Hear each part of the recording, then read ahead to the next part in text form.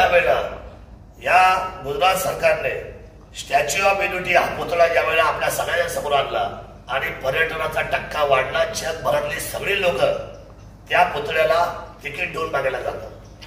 मला तुम्हाला आज हे सांगायचंय. छत्रपती शिवाजी महाराज केवढं मोठं नाव आहे आणि अधिकार आपल्यालाच आहे. छत्रपती शिवरायांचा सगळ्यात मोठा पुतळा या जगामध्ये नॉट ओनली इंडिया भारताचा मी म्हणत नाही. जगामध्ये सगळ्यात मोठा पुतळा बनवायचा निर्णय त्याचा संकल्प आम्ही सोडलेला आहे आपल्या सर्वांच्या साक्षीने. त्याची जागा निश्चित केलेली आहे. त्याची उंची निश्चित केलेली आहे. फार मोठ्या उंचीवर तो जाणार आहे.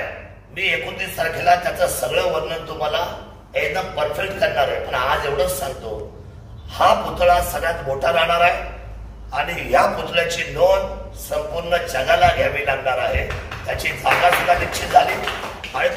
मध्ये होणार आहे. त्याचा शिल्पकार सुद्धा मी निश्चित केला. पत्रकार बंधूंनो मागच्या आठवड्यामध्ये. आणि त्या शिल्पकाराला फार मोठ्या रकमेपैकी त्याची जी सुरुवातीची आपण शुभारंभाची जी बिदागी म्हणतो किंबहुना आपण टोकन म्हणतो ते सुद्धा मोठ्या प्रमाणामध्ये मी दिलेलं आहे. आम्हाला अपेक्षा आहे की ह्या गोष्टीची असलेली जबाबदारी माझ्या बरोबर घराघरातल्या प्रत्येक माणसाची आहे. सुंदर अशा पद्धतीची आपण छत्रपती शिवरायांची एक मोठ्या प्रमाणाची एक सुंदर अशी जगातली सगळ्यात मोठी प्रतिकृती ब्रान्समध्ये ब्रान्स म्हणजे आपल्याला माहीत आहे.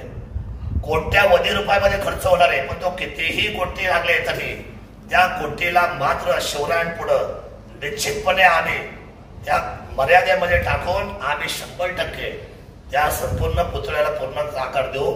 आणि जास्त नाही सुरुवात झाली कामाला. एक वर्षाच्या आतमध्ये पुतळा बसवणार आहे एक वर्षाच्या